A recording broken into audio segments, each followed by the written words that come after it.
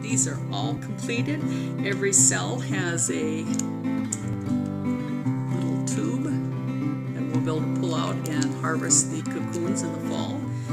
And they are ready to go. Here is the mason bee house. Put it on the sunny side. There's a spot in the bottom and the top for attaching it to a house. Nice sunny side. The block just slides in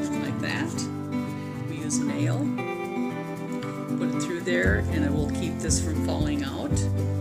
And in the fall, nail comes out, tube comes out, we pull those out and unroll it and harvest the cocoons. Simple as that. Little mason bees don't give us honey, but they pollinate everything that you can imagine. They are little workers. Thanks for watching.